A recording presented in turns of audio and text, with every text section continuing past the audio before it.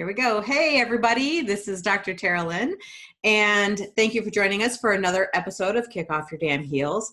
I have my colleague Joshua Waters here with us today, and Joshua is going to tell us about himself. But the reason I have him on here is because he has some really kick ass videos on LinkedIn. So I want to make sure that you guys all check him out on LinkedIn, and I will have his LinkedIn profiles and social media hand, handles in the show notes today. But that is how I actually met him. So I want to welcome Mr. Joshua Waters to the show.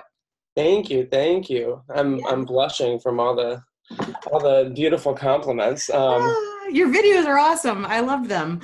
yeah, it was. A, it's kind of a, a new passion project of mine, um, and I've got a lot of awesome inspiration in Chicago. Just a lot of beautiful scenery for me to for me to utilize. So, mm-hmm. um, but yeah, so uh, I'm Joshua Waters. I'm a licensed marriage and family therapist in Illinois. Um, I'm originally from Iowa, so Midwest is kind of my it's kind of my jam. Um, but I went and got my LMFT. I got my marriage and family therapy degree in Georgia, South Georgia. Mm. So I was down there for the last six years up until this, just this last summer when I moved up to Chicago.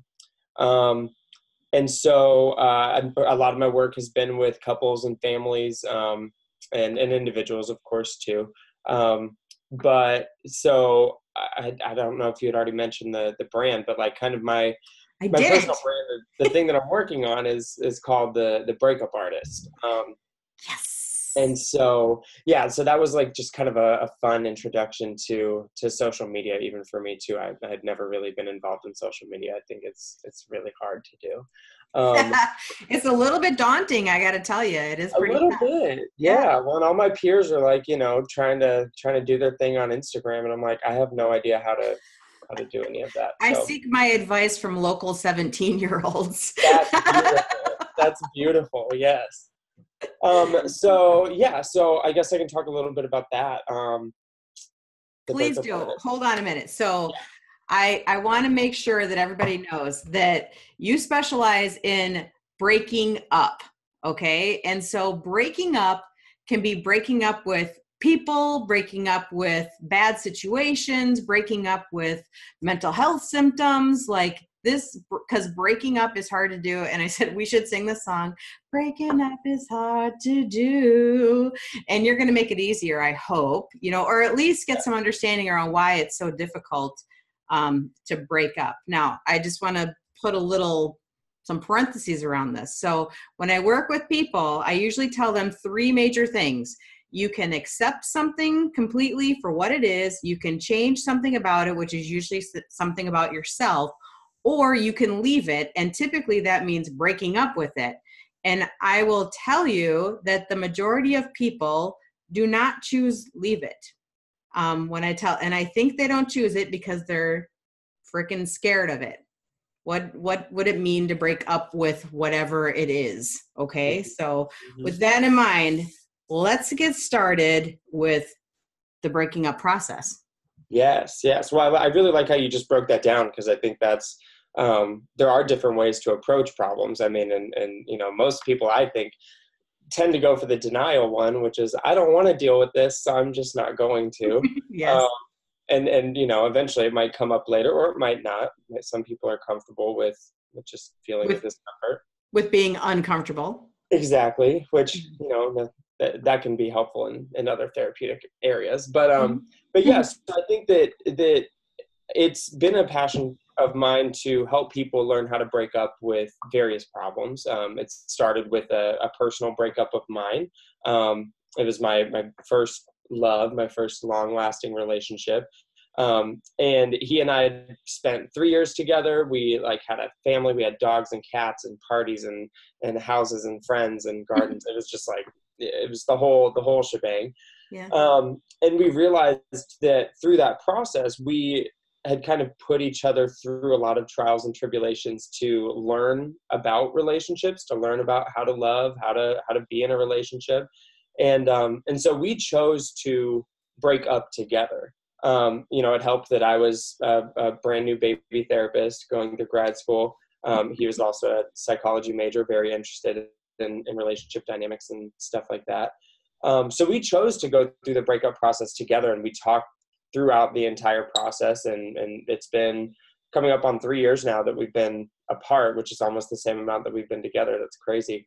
Um, and we're really really good friends like really strong friends. And and we learned a lot about ourselves and our families and and why we put ourselves through various issues and problems throughout that time. Um, and i think that was really helpful. So like you said kind of generalizing that to other mental health issues to other problems that we experience in life i think there's i think it's it's not necessarily necessary but i think it's really really helpful when people choose to learn more about whatever they're breaking up with first instead of just trying to negate it instead of just saying i don't want to feel that anymore i want to take some pills and make it go away or i want to i don't want to talk to that person anymore they hurt me and i don't i don't need to learn anything about myself that was all them like it always takes two to tango. The mm-hmm. relationships we're in, we're we're in them for a reason, and if we're either putting up with something for for some particular reason that we don't understand, um, or we're just not ready to move on. So I think it's it's helpful to kind of spend some more time exploring those things. And when you say relationships, you're not necessarily just talking about love interest relationships you're also talking about um, career relationships coworkers colleagues that type of type of stuff well, too yeah our relationship to pain our relationship to mm-hmm. anxiety our relationship to stress like yeah. relationships are are everything i mean just how we feel about anything that we experience in life for sure families i like family relationships are Ugh. crazy yeah mm-hmm. we'll say complicated complicated is a good word. Yeah, yeah, yeah. yeah. It's complicated. so, what advice would you? What? Well, not advice, but what is a? Do you have a process that you take people through? Like, what would be some of the steps of that process? Um, I think the first step is uh, really just identifying what it is that we're we're trying to break up with or what the relationship is you know i think sometimes people are more focused on uh, their bodily sensations or like you know what they're feeling versus or what they're what the sensations are versus what they're actually feeling emotionally. Mm-hmm. Um, and some people are more connected to the emotions versus how it actually affects them in, in their daily life.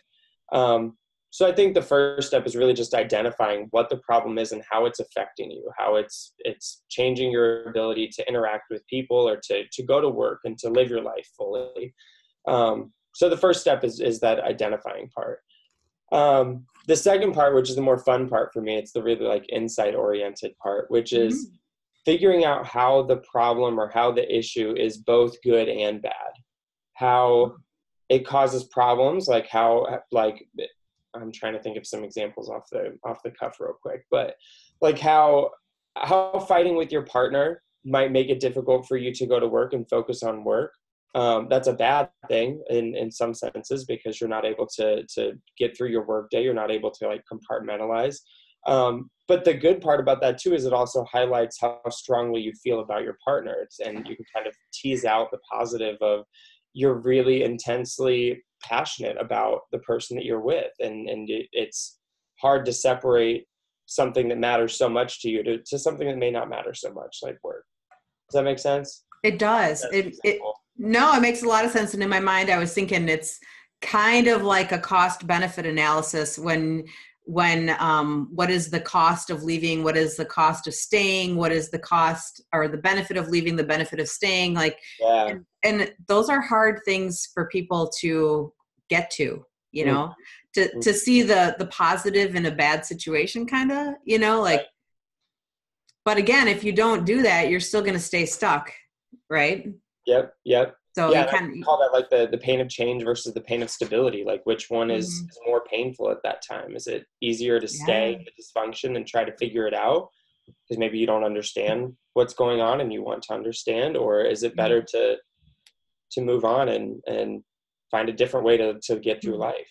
I like that. You said the pain of change versus the pain of stability. Mm-hmm.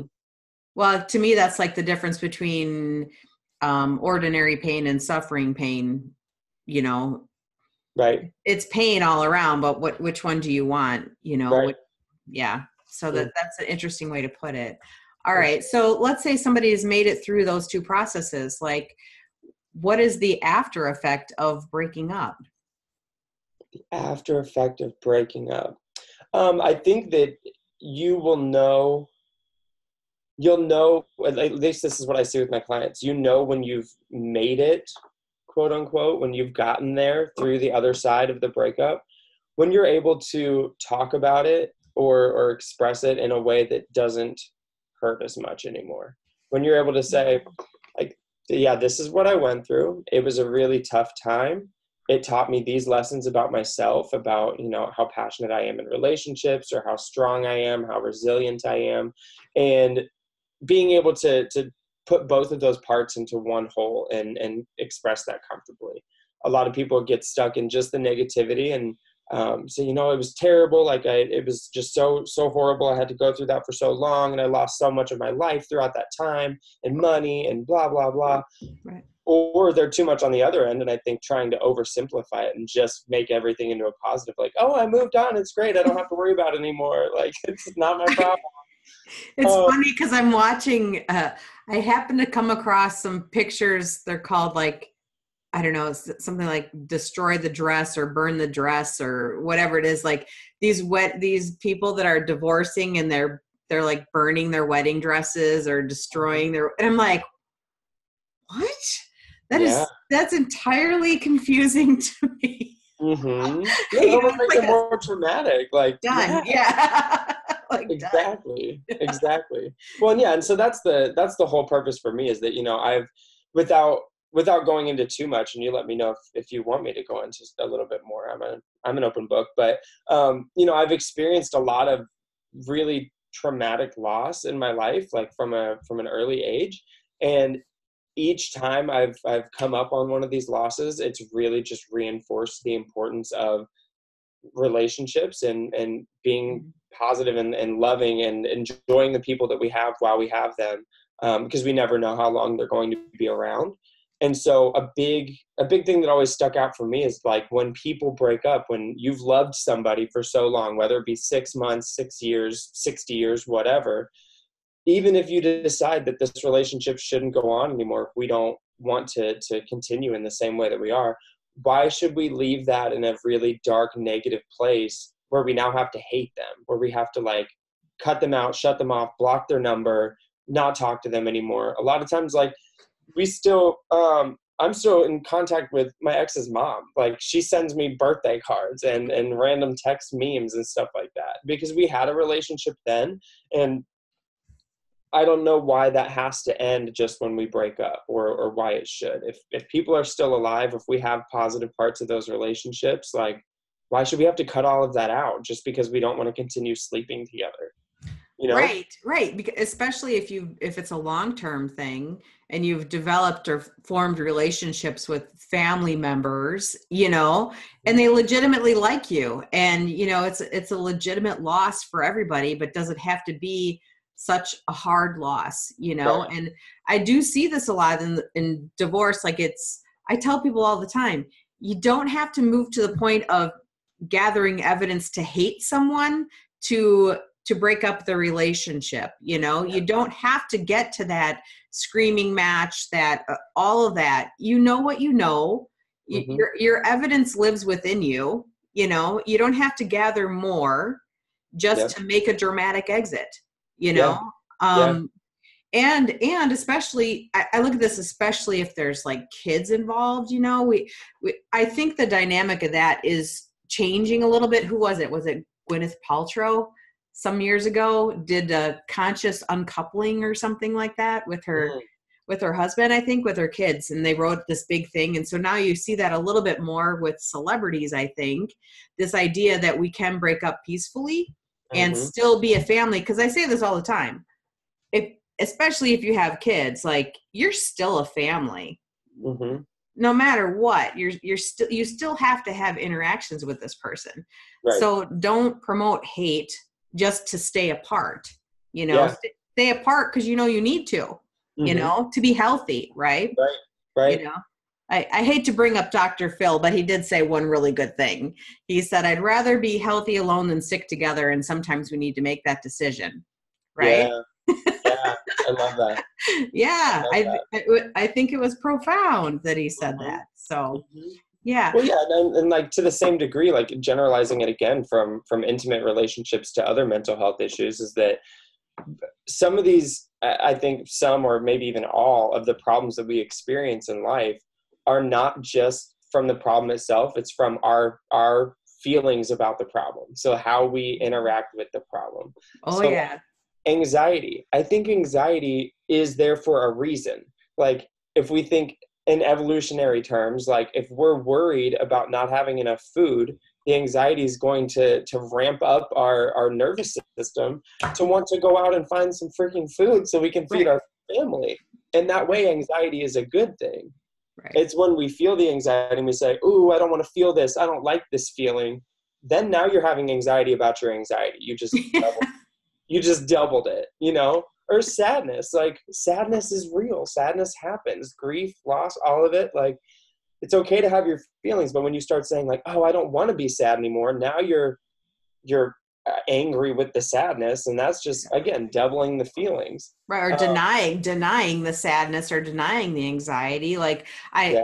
so when i left my state job to go into full-time private practice i had tremendous anxiety. I was having panic attacks every day um, and i'm not exaggerating when i say that it was terrible and that lasted like six months and I ended up going to the doctor and they prescribed me an, an anti-anxiety and I went home and I took it two nights and then I went, Duh. like my body is alarming me to get the hell out, not not like dampen it down and stay yeah. with the medication, you know, that is still primitive and we still ignore it all the time. Yeah. You know? And I think with well i shouldn't say only with depression but depression um, depression and anxiety i mean i think we damp it down to stay put yeah. you know? Like we don't want to experience it well or we experience it later and then trudge back right back into the fire you know of what's causing it whether that's a love relationship or work or you know whatever it means that something is not working for you you know? And you need to do something about it right. not just not just ignore it or prescribe it away right. you know? Right. Well and, and going back to the point of like one of the processes of, of learning how to break up like my ex and i should have probably broken up a, a year and a half before we did. Yeah. like it was it was a mess the, the last year and a half but we yeah. stuck it out because you had all these things probably. What? You had all the things well, we had all the things. Yeah, we had to get through our lease, you know, and and childcare for a dog is expensive. So, um, but because we talked about this after we broken up, like part of the the breakup process for us and, and processing those things was that we we knew even during those times that we were learning things about ourselves and and putting ourselves through those those trials to learn more. And I think when we even with medication, like if we if we're taking something or doing something to dampen the feelings or just to kind of stay put, stay stuck where we are, that might be bad, quote unquote, in like the long the long run because we're just holding ourselves in this problem that we could get out of. But I think that's also good because we're learning more about what's going on. We haven't learned enough. We haven't gotten to the point of being convicted about I don't want to actually feel this way anymore. I want to to learn about it and find a way to move on peacefully. Mm-hmm. Um, and so it's sometimes like it, good good is a weird word to use for it but like i think it's useful to stay stuck in these problems sometimes or to to you know figure out why. What what is the benefit to being stuck in this problem? Is it easier because we don't have to do the hard work of exploring our feelings and digging through family trauma and making changes to not feel that way? Um, you know it's scary to confront your feelings.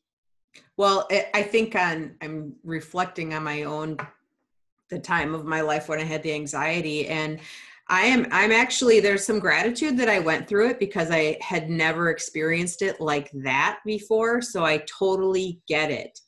And now I don't ever want to do that again.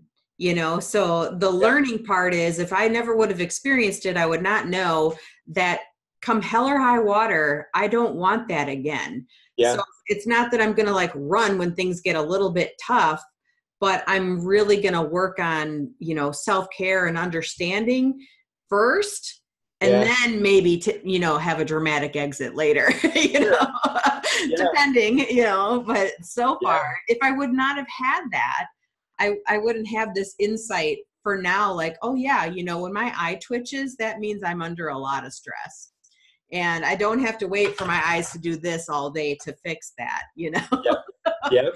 you know so it's it's everything is a learning experience but some of the language around mental health really just bothers me because people say things like my anxiety or my depression or my PTSD mm-hmm. and I'm mm-hmm. like you know what well what are your thoughts about that when people have ownership of it oh it's terrible it's ter- it hurts me. It does. It like it physically hurts me. Well and, and i think it's it's like you said it's a part of the culture because people have just come to come to take on that role so that that yeah so that they can explain it easier i guess or so that they can you know it's, it's i think it's harder to talk about anxiety as this this thing that comes and goes that's external from us. It's easier to attach it to ourselves and yeah. try to take responsibility for that.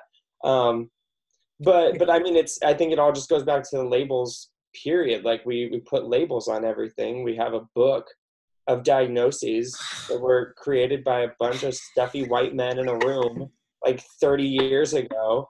And it's all just bullshit. It's all just words God, i love you so much. Oh like, oh God, i hate it. And i tell I my clients that too and they they like that. Like i tell them from an up oh, front oh, yeah. like i don't care what your diagnosis is. I'm going to give you one so that we can have insurance pay for your shit. But yeah. it doesn't matter because either way, we're going to be addressing how you feel. We're going to be addressing how those feelings change your behavior and how they affect your life. Um, so I know I'm kind of getting, I'm going on a tangent a little bit there. My That's all right. Um, but yeah, no, I think it's important to identify when we start to to put like take ownership of these problems if we start to say it's my anxiety or my depression um, because that means that something's broken within us or that something's wrong within us and it's it's anxiety is there. It's it's going to come and go. You're going to experience it at different points in your life. Mm-hmm. depression is going to come and go. Sadness is going to come and go. Like these issues are are everyone experiences them to a certain degree it's just how we relate to them, the feelings that we have about our feelings that make it a problem. Right. The and the relationship that we have with those feelings when when we start um claiming ownership like some people have a, a lot of their identity wrapped up in being the anxious person or the depressed person like they mm-hmm. literally have you know it they don't know where they begin and they end because they've got so much wrapped up in this idea that well you're just depressed all you're just depressed and i have to resolve my life to that type that depression because it's who i am you know? Yep. and i think you know breaking up with that is scary right? Like because you're breaking up with an identity system almost that you've developed over time. That's yeah. scary. That is really scary. For sure like, yeah it'd be like me breaking up with you know being a mom right? Like that, that scares me you mm-hmm. know? So how eh, do you is the process different do you think breaking up with like your mental health identity versus breaking up with a person? Is that different or is it still relatively similar? Um i think it's still relatively similar. I, I think it's i approach all of it like from the same from the same framework. Like the you have to figure out like why you're why you're dating the problems that you're dating like versus dating I, I, the problem. I love this. Yeah, yeah why you're dating the problem and, and if you want to stay married to the problem or if it's something that you can learn and grow from and move on to the next one. Um, so no I, th- I think it's very much the same. Like there's there's a, a reason for why we feel the way we feel um, about different problems in our lives. And there's reasons why we date certain people and and come to love certain things that um, that are different. I don't think we're we're always dating the same exact person over and over. We might have certain characteristics that we that we follow or certain personality traits that we follow, and some of them are good, some of them are bad. Um, but no, I think it's all it's all pretty much the same. Is learning about why why those things make sense to you, and like you said, that cost benefit analysis. Like, at what point does this relationship that I have with pain or with anxiety or with this person or that person become more detrimental than it is beneficial? and is it something we can work with or is it something we need to to move on from and go a different direction? Nice. All right. So i think we're gonna end on that note. What do you think? I love it Okay, great. All right. As I said before, all of Joshua's um, contact information will be in the show notes. Please check him out on LinkedIn because breaking up is hard to do, and everybody needs a little bit of a navigator in the breakup process. Um, and I forgot to tell you, I was in Chicago a couple weekends ago. I totally forgot you were there. What? I would have. I know. Next time I'm there, well, I'm I will. With you, Taylor. oh, jeez. You're gonna come and then tell me weeks afterward that you're here. I see. I see. next time. Next time. Next time. All right, everyone. Thanks for joining us, and we will talk to you soon.